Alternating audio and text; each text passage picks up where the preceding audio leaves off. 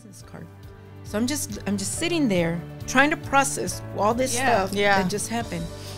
I went out, I sat in my car, and I'm sitting there and I'm thinking, over all of this, I was gonna kill myself, mm-hmm. you know, over this. And and it's like when I drove off, I saw a marquee that said, Your debt is paid in full.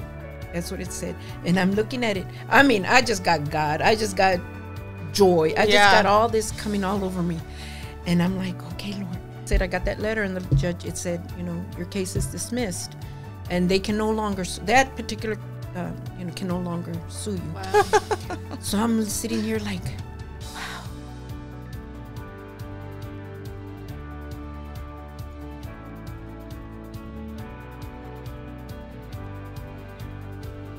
Hey, and welcome to Winning Conversations. We are so glad you're here. We are back again this week with Dolores and Arnold as Alaniz. I said it right. Got it. Alaniz. Yes. Alaniz. How are y'all today? Yes, doing We're wonderful. blessed. Awesome. How are you, Andy? Good. Good. It's a beautiful day. Yay. It is. It is. We had such a great time talking about mainly about your story last Yes. last episode, and um, it's so powerful. I would encourage anybody to go back and watch it if you didn't get a chance to before, because it kind of provides some context to where we're going today. But we are excited to kind of explore your story together. Mm-hmm. Because you guys are newlyweds, right? Yes. Yeah. Yes. Um, cute. So, how long again have y'all been married? We're going on two years in May. Two this years year. in yes. so Yes, cute. Yes, yes, yes. And I had to learn how to do this here. Hold Hold hands. Yes, because I mean, you know, being I, I would think when he started, that's his love language is Really physical hands. touch. Mm-hmm. Yeah. Yeah. and so and not not mine. It was not mine, and so it's like, does he not know? does he not know how old we are? And he wants to hold my hand all the But that's so cute. I'm used to it now. Yeah. so I like it. So I'm I'm expecting it. But You had to get used begin- I to had it. to learn to Yeah. To funny receive it. To that God it. puts two people with two different love languages together. I almost Yeah. feel like it's intentional. Yeah. Yes. we just we just did the love language quiz. Is uh, right? Me, Ryan, and Addie. Yeah, so Oh. we could learn like Yes. what each other needs and everything like that. yeah. Physical touch is both at the very bottom. Oh. Like, thank God. Yeah, I would, it's very bottom. But I think gifts is mine and acts of service. Nice. Yeah. Nice. Yeah. Nice. That's good. But it's good to know. You have to. You have to know. Yes, and, What your and like I partner said, needs. especially at this age, you know, you get adjusted to certain ways of oh, doing. Well, oh, yeah, I'm things. sure. Mm-hmm. So yeah, so praise the Lord. Yes. Yeah, I'm learning to receive. Y'all got married late in life. Yes. So how has it been melding your lives together? It's been good. It's been interesting. Never a dull moment. I always say that. Never a dull moment. You know, he's he's a lot of he's fun. We've had moments, of course, of and I've learned because of course I was married 26 years, my first marriage, and, and it was a lot of fighting, a lot of yelling, a lot of cursing, things of that nature. Now with him, he's very quiet, he's patient, and so I'm I've embraced that, and I've learned again to receive because receiving is not, you know, it, it's everything in life, you know, and so I'm just I'm grateful for because again I've learned to take correction, you know, and even my daughter even told me, you know, uh, mom, it sure must have been tough for you to let go of the reins and let somebody take over Yeah. because I was always the leader in my home Independent. very fiercely independent, mm-hmm. you know, and I grew up like that and I stayed like that and I remained like that in the, the first marriage. So when he came along, I had to start, and I'm still learning Yeah. to let him take the lead, let him take the lead. And he doesn't force it. He, he just gently, you know, patiently and With and love. with love. And I'm, I work on that and, and with God's help, you know. Yeah. And Holy Spirit reminds me, because you know, even before we got married, I said, "Okay, Lord, if there's anything about this man you need to reveal and expose, you know, show me or expose it. You know, I don't want to go into, you know, I want to go into this marriage eyes wide open and and whatnot, mm-hmm. right? Especially finding out, because when I found out he had just come out of prison, that's the way my, you know, my sister in law now, she's the one that told me, oh, you should. And she was handing me her phone. We were all out eating. She was right across from me. You should meet my brother-in-law. He just got out of prison. She was fixing to show me his picture, and the same way, like she handed me the phone, I gave it right back to her. oh, nice! I'm like, oh, great. You know, I'm just like, I'm not good at making this relationship. You Yeah. know, a good relationship. You know, and so I'm like, oh, great. you know, but anyway, um, I mean, I can imagine having some concerns. I Yeah, mean, yeah. I but you know, I think what what it was, and when I first got saved, all the the the I was Sunday school teacher to his nieces and nephews, and and his I knew his brother, I knew his sisters, so I knew a lot of his family. But So you I- didn't know him. I didn't know him. I never knew he existed. oh my goodness. Yeah, until you know he got out of prison, and that's when you know they introduced him to me. So we met through Facebook and um, Messenger. I guess we became Facebook friends, and we just started chatting. He slid in your DMs. Yeah, girl. Yeah, he just kind I had to learn Facebook. How do you say it? What is this social media stuff? yeah, they don't have that in prison. Oh my goodness. Yep. And so yeah, and so we, you know, and he told me he sent me a message. You know, well, we'll go out to dinner sometime and whatnot. This was in 2019. Well, y'all know 2020 COVID. Oh, hit. yeah. And that's when he came into my life, right when COVID hit. And so he comes, he says, I want to take you out to dinner. I said, Oh, that's really slick. Everything's closed. you know, it's like you want to take me out to dinner, you know. Since you But- have to go to her home. Yeah, yeah. No, but we, you know, we we met, we hit it off well. And I do think you said that that the Lord you already felt I was going to be your future wife. Mm-hmm. And I would always What? How did? Wait. How did you take that? Well, I, didn't he didn't know. tell me. Okay. Okay. He told me afterwards. Because could you imagine on a first No. date, the Lord told me that we're going to be married? I'd be like, God. red flag, red flag right there. Yeah, no, thank you. Like- yeah. yeah, totally. No, but it's you know he he we started talking, and I started hearing his story. And when I found out he had been in, pri- I said, "You don't look like you've been in prison. Mm-hmm. You know, he doesn't at all, at all, at all." But um, and I was, you know, I did share with Tanya earlier about I had uh, prayed when I meet somebody, I want to meet somebody take that leads me to God, not away from God, mm-hmm, right? Mm-hmm. Because it's like in other relationships, you meet people, and then the minute you start talking about the Lord or any that type of, you know, that's like a turnoff to other people, Right. right? And so, oh yeah, I know God, but I would hear inside, I don't know Him, you know. So that was like, oh man, again, you know, and again. So I'm mm-hmm. like, I finally had to let go of everything, you know, because like I was originally saying, you know, Cindy, mom, it must be hard for you to let go of the reins and let somebody take over, you know. That's what I had to do even with God. I said, Lord, you know what? I love you. And if I don't meet anybody, I'm happy. I'm mm-hmm. blessed. I'm very, I'm in a, a peaceful place with you. Yeah. I don't need to find my happiness in a man or anything like that. Well, you know, and then he here he comes along, you know, and and mm-hmm. okay, Lord, so I mean, what what do you got to say? But it was good. It was good, and I I saw him, and he was real. Yeah. He wasn't just talking the talk; he was walking the walk. Right. So I was seeing that, and I was seeing the hand of God in his life, and I was learning things that you know I would hear about, and I would hear in other you know people. So I I believe that's where restoration started to take place in my personal life. You know, because I, I I still even though I had been serving the Lord, I got saved when I was 25 years old.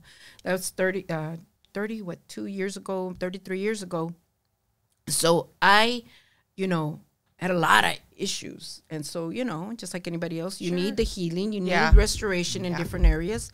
And so, and even in coming to this church, I was learning to how to trust in the word, how to use the word, how to, you know, allow the word to do what it needed to do, you know, and be patient as Yeah. well. That was the toughest. That was. But again, with him coming along and him, you know, um, helping me, you know, when we decided to get married, we had at first we decided we were going to just elope. You know, we're just going to do simple. Some small- Yeah. You know? But his family started inviting themselves to when they found out they were inviting themselves. Why like, am I not well, let me know when is the wedding. You know, it's like, Sounds so and I told familiar. her, we never said there was going to be a wedding. Yeah. It's like, you know, he says, well, they're just The happy- wedding is for everybody else, not you. Yeah. and it's like, well, he says, well, it's my first marriage, so at this age, they're excited for Yeah. me, you know. And I'm It is like, exciting. yeah. And so, you know, and he uh, he mentioned to me, he said, well, secretly, I really wanted a wedding, and Oh. you know, That's so sweet. but he just didn't say anything. He Yeah. was about, you know, What you wanted. what I wanted, and so we finally just started to plan a little bit at a time, and it just kept growing and growing. I said, Mm-hmm. "Oh my gosh, Arnold!"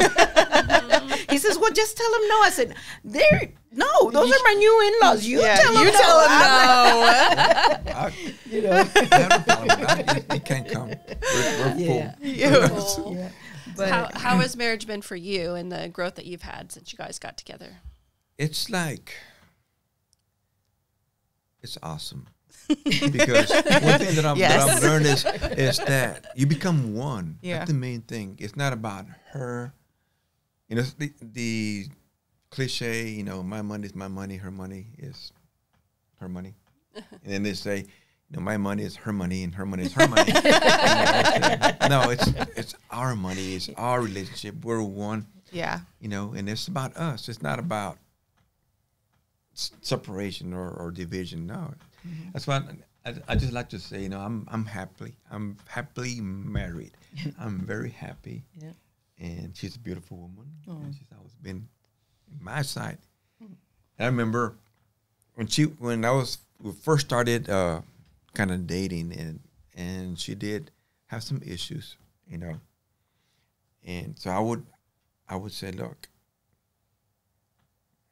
you are joy, you are love, mm-hmm. you are peace, you are happiness. This is you. This is what you are. Because she didn't see that in herself. Right. I this is what I see. This is what God sees in you. And I, and I, even, I even wrote it down and put it on her mirror mm-hmm. where she can. I, I wrote, My name is Dolores. I am the daughter of God, and I am love. I am peace. I am joy. I am intelligent. I am beautiful. I just added just mm-hmm. because that's what she is, you know. And And then God helped me to mm-hmm. get that restoration through mm-hmm. that. Mm-hmm. You know, and I told him he's he. I've got blessed. I got a handyman because he came to help me get a, a ten year dream of remodeling all my house. You know, and it looks awesome. You know, we done a good job and we did a lot of the work, and so it's been amazing. It's been a, a transition. It, I told him I said, well, we've done and I've known him for three years, but we got married two years ago. It's been like like. Uh, you know, certain dreams coming true. Right. It's like happening. It's moving. It's mm-hmm. moving. It's moving. I was Things that maybe you forgot mm-hmm. about or things that you Yeah. didn't even like you weren't Right. even focusing on. right. Yeah. Yeah. yeah. And so it is just like, man, wow. And, and, and the thing about it is, is you see us now like this, but we have background history. Right. And that's what I was going to ask is that mm-hmm. I you have a colorful background and you as well you kind of have the same kind of thing and then coming together. Can you kind of share about the things that you went through and your history? Absolutely, absolutely. I mean, I think that the the hardest part, you know, I, I did go through a lot of abuse. So I went, you know, as a child and and growing up in a violent home. So I saw so many things, and I mentally, you know, I was the oldest in my family. I I had already made up my mind. I will never um, get with a man that's going to beat me, is going to treat me this way, is going to just, le- you know, whatever. Mm-hmm. And so I had already, you know, but and then but and you know, my mother was was a little was unstable, so she mm-hmm. moved a lot. So we ended up in different people's homes, so that caused other abuse to happen to us. So I became very suicidal. Mm-hmm. You know, I started to grow up like that. I started, you know, I, I attempted to overdose on pills. I I've been pumped out before, and I, you know, I've been, and all that would happen to me was the same way like he was. It was talking in his story. You know, you just feel like "Ah, you're just gonna die. Death always sounded good to me. That was my way out Wow. Yeah. even though I I drank, I got involved in drugs, not as heavy as he did, but I still got involved in certain things, and and I wasn't, you know, I was just, I felt like, why are, what's the purpose of even even being here, you know, because of my rebellion and not wanting to follow anybody's rules, I couldn't. As a teenager growing up, I couldn't. Nobody wanted me under their roof, so it's like I could stay there for a little bit, but then next thing you know, You got to go. you got to go. So, and there was times I slept in my car. I had nowhere to go. And so, but, you know, and growing up with that lifestyle and that cycle, you just keep going. You're just living life. You Yeah. know, I'm, I'm I'm working for the weekend. You know, yeah, I love that song. You know, yeah, that's me. You know, whatever. But you know, you you you get to a point in your life, and then of course I got married. I got married young, and I got married because I lived with him first, and my mother, you're going to hell because you're living with that man. You know, it's like, okay, so, So we you got married drunk, him. We got drunk and we got married. Yeah. you know, and so we, you know, In that that was order. in that order, pretty much, and that was our life, just Yeah. drinking, Right. and and you know, I can remember one night we were arguing, and I went and grabbed a knife and you know, I was gonna go at him, but I ended up putting it on my stomach right here. So I was, and, he, and then he put his body on it. You know that that those are the times that you say that's when you know that God's watching over you. You don't know, but you learn that later on in life. Yes. So he put his body on it, and I had the knife right here, and I could feel the point. Mm-hmm. And his he was trying to push himself on it, but it wouldn't go in. It was just stuck there. So you know, and then another time I tried. This was back in Lubbock. I tried to run my car over a bridge. You know, I was so wasted, and I just started. I just hit the gas, and I said, you know, I, I just I don't want to live. Mm-hmm. I don't want to live. So I drove, drove, drove, and all of a sudden it's like somehow my foot just transitioned, and the I hit the brake, and "Arr!" the car just went, you know, and it's like, and I just stood there, and it's like, you know, and it, I'm like shocked. Yeah. Mm-hmm. What What happened? what happened? Why didn't this happen? Why mm-hmm. didn't you know? And I would cry about it. I, I don't want to live. I don't want to. I couldn't even do that right. You know, it's like you can't do nothing right. You can't even kill yourself right. You know, it's like I've heard that that spirit of that spirit of suicide, that suicidal spirit, is really oppressive. It like is. it really change. Like it's almost tunnel vision. It is. Mhm. Like It you is. can't even think of anything else, hear Right. anything else. Yeah. So the fact that God like like protected you even in the Even midst those of that moments. Mm-hmm. oppression is pretty amazing. Yeah, absolutely. You know, it's it's you hear that your grandparents are praying for you, your family's Yeah. praying for you, and and like him, also in a lot of different religions and whatnot. But yet, you know, God, when He has a purpose and a plan, it's like He's There was protection over you that, that's that you didn't even know that you about don't even it. understand, and it's hard to explain. You know, because when I got saved, I got saved in the house I live in now because Mm-hmm. that's where my first pastor used to be his house, and that's where he started church. So Good vibes already. Yeah. yeah. So it's like, and every time my prayer time, when I get up in the morning, I'll go sit in the living room and I s- stare at that spot right there. And sometimes I'll get back on my knees, you know, because that's where I felt the love of God. Like I've never knew, I never knew this thing existed. And it's like, I, I, it's a peace. I Yeah. can sleep, you know, because I, before I couldn't sleep. It's like, I can't breathe. I can't sleep. It's like, what is this thing? So I'd get up, I'd leave. But that day that I got saved, the love that just came, and then I became a crybaby. I never used to cry. I became a crybaby after I got saved. I was always crying, and I never why, but it's a peace I felt. You know, and my girlfriends were like, "You want to go do happy hour?" Mm, nah, you know, I don't feel like drinking. You know, I was drinking every day. I would go walking, but I'd buy my six pack or 12 pack, whatever I was in the mood for, and drink it afterwards. But it's like when, after I got saved, it's, nah, I don't feel like it no more. Like, what's wrong with you? You know, it's like, I don't know. You know, I met God. It's like, you know, It changes things. yeah, It does. totally. And so, you know, and it was through Joyce Meyer's ministry that I started to get a lot of healing. And she actually, she actually prayed for me one night when at one of her services. She laid hands on me and she prophesied over my life. And I received t- a lot of healing. I was able to start forgiving and forgiving the people that hurt me and everything like that. So even in growing up, you know, going through life, after my ex husband left, me and my daughter, he left me with all the debt. You know, every, I couldn't afford it, and I was, you know, uh, getting harassed and and whatnot. I mean, taken getting taken to you know um, court because you know I couldn't pay my debts and whatnot. And that was another moment as a Christian of of of wanting to commit suicide because again I couldn't you know I was being harassed so much. Mm-hmm. It's from these overwhelming. Debt collectors, it was so overwhelming. Yeah. And so I'd already made a plan. I wrote the suicide note. I went to church that morning. It was on a Sunday. And so I locked myself in my room. My daughter would come, Mama, you know, knocking on the door. Mom, open the door. What's wrong? And I was like, Mama, don't feel good, mija. Just, I'm okay. Just leave me alone. Pray for me or whatever you want to do. I, I just, you know. And, and, and even though at the time I didn't think about it, but I thought about it afterwards. I was being selfless because I wasn't thinking about her. I was just thinking about myself, you mm-hmm. know. But I mean, through all that, God you know, I mean, a phone call came through, and and you know, people that work with debt, you know, people that are in debt and whatnot. I'm like, how'd you get my number? You know, and I had already made the plan. 6 p.m. I'm I'm that's it. I'm doing it. I'm taking these pills, and I had a big you know jar of pills and whatnot. About 5:45, and my phone's ringing, and it's like, we we help people on debt in debt, and it's like, how'd you get my number? And they're like, I don't know, ma'am, your number just appeared here. Okay. And so I'm like, well, this is my situation. You know, I'm already going to, to they're suing me. She goes, oh, well, you're already pretty deep. She says, well, we don't deal with that kind of stuff. She says, but you know what? There's somebody that works here. His name is Chris. And he's, I've heard him talk about that kind of stuff. Let me see if I can get him to call you and, and, you know, give me about 15, you know, 10, 15 minutes.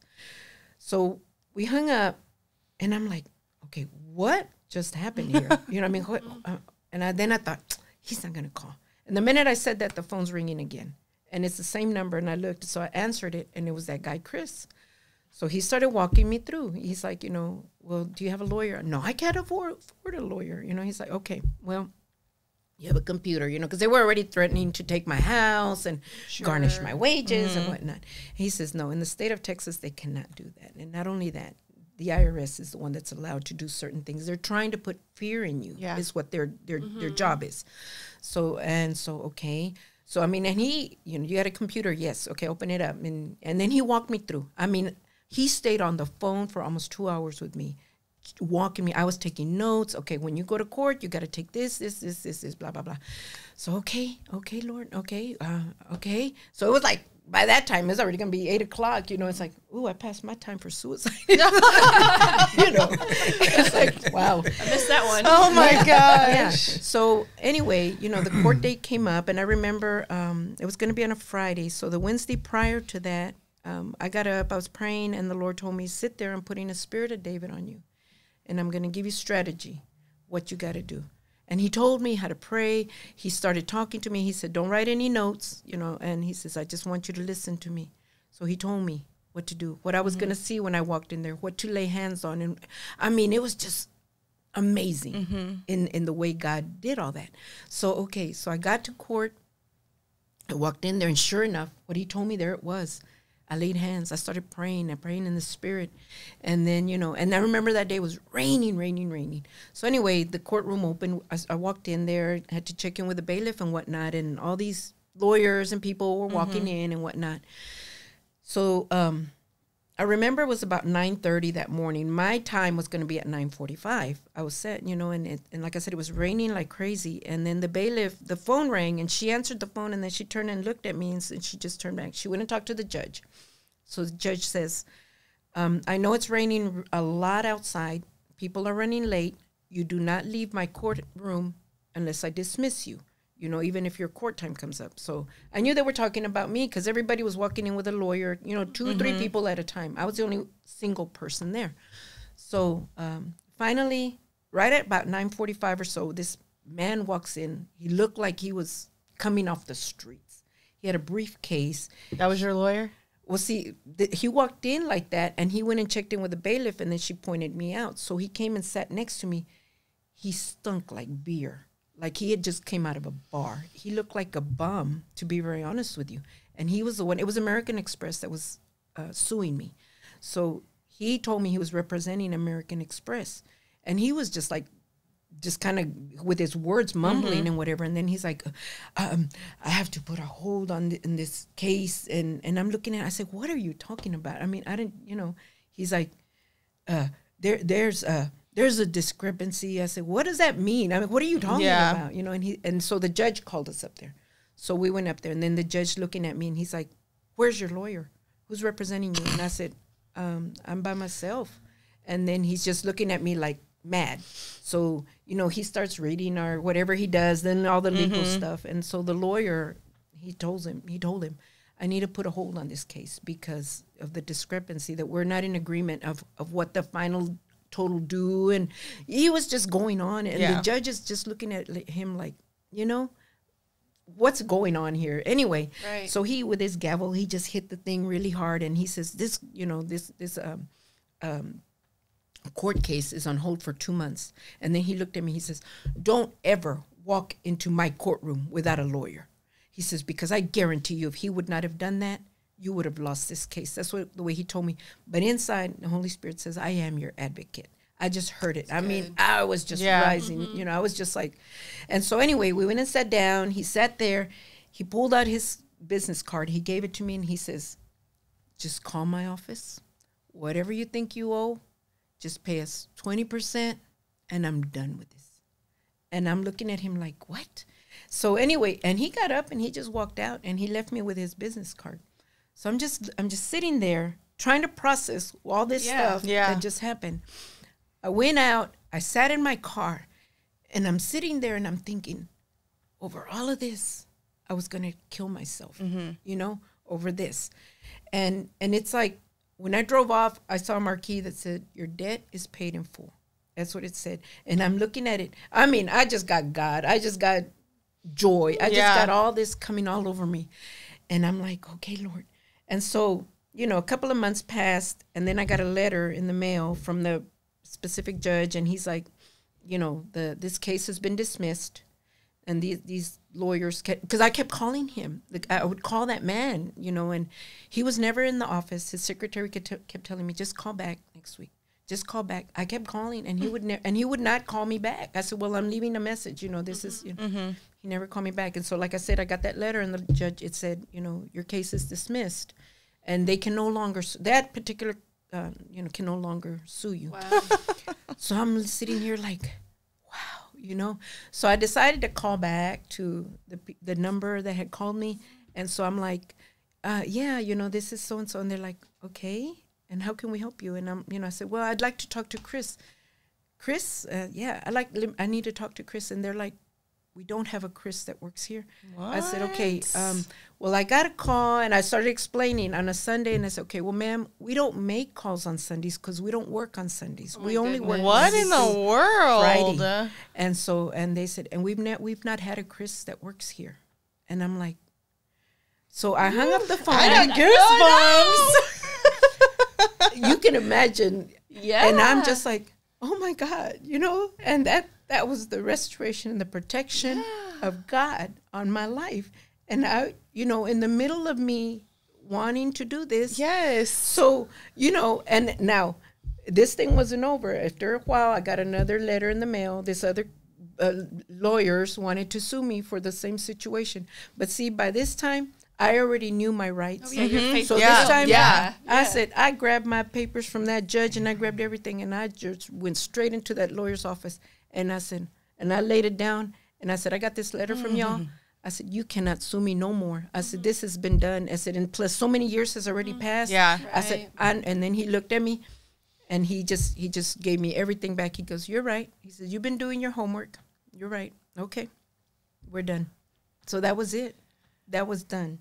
It's incredible. What an incredible story. And what I love about it is that that like you were ready to kill yourself over this debt situation. Like you like the enemy is such a liar. Yes. Right? Uh, like he just made a whole cloud around that whole situation that made you think this was Put this was fear it. in you.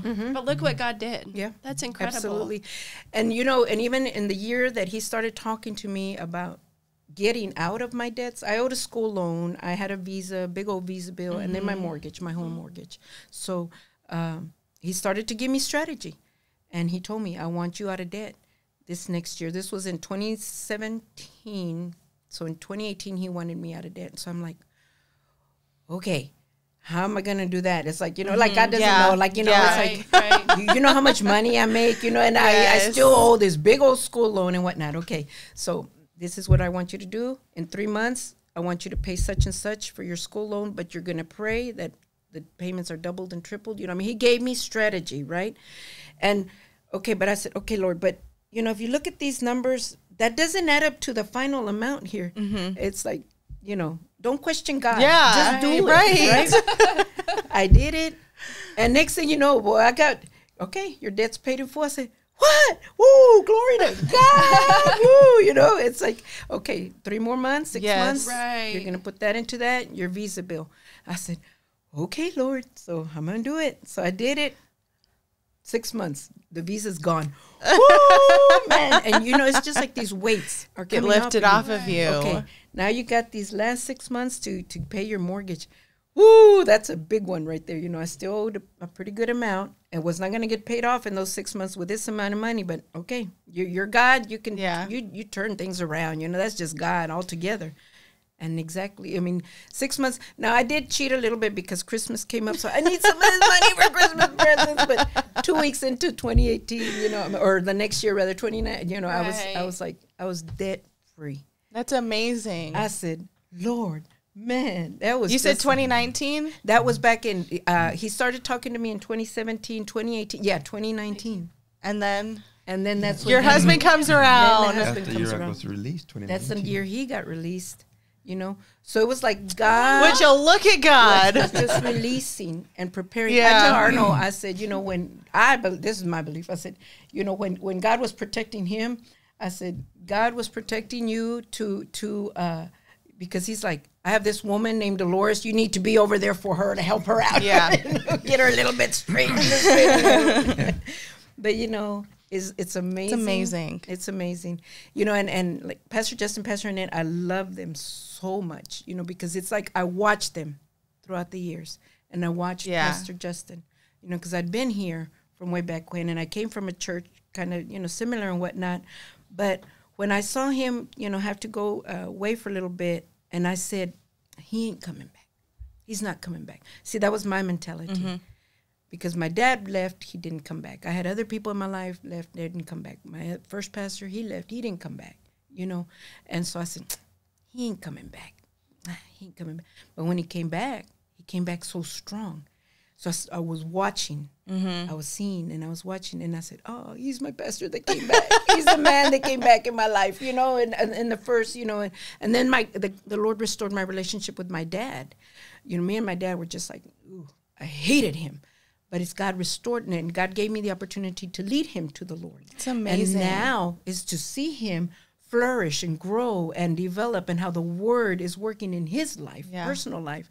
You know, it's like wow, and he loves loves Arnold. You know, it's like Arnold and him, just like they they just like you know, That's it's like, amazing. you know, but it's like just to see what God has Yeah. done, and I love hearing the people people's stories. I love hearing. It's like the word is just like, ooh, ooh, it's awesome. Alive. God is good. It's. Yes. So, I mean, I feel like this is kind of an obvious. I mean, I'm going to ask the question because we ask it every episode. but I mean, you're obviously winning in life, but we want to hear your answer. How are you winning in life, do you think? Well, I look at it like, and Dr. Savelle teaches us, don't quit is not an option, mm-hmm. you know, and and there is hope, even in the most hopeless situations, because I know that even as women, our minds tend to take us, you know, and I, I ask the Lord, I don't want to be an emotional roller coaster, right? And and but to watch that word breakthrough, mm-hmm. you know, and to let people know, you know what, it's doable Yeah. you can do it. You can get through. Don't lose hope. And making being a winner is is like let the word, let the praise, let let. I mean, even just getting up in the morning, just you know, God, thank you. Mm-hmm. Good morning, Holy Spirit. Thank you. You know, because it it takes a lot just to do that, Yeah. just to do that, and it took me a long time to get there. But you know what? I'm here. You can do it. We are so glad you're here. Of you. well, thank you so much. That was so good. I still have oh, goosebumps. That was great. too. Well, I hope y'all enjoyed it and come back next week for more winning conversations.